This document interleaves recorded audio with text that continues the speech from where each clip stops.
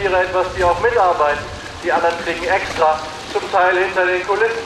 Ihnen ist sicher aufgefallen, die Seebären, die schlafen alle da drüben, die haben heute Morgen schon ihre Ration gekriegt und gar keinen Hunger mehr. So, eigentlich sollte der Gustav mal auf seinen Platz kommen hier, der muss nämlich aus dem Weg. Der Acholi wird schon langsam ungeduldig. Pass mal auf, du kriegst schon mal einen Fisch von mir.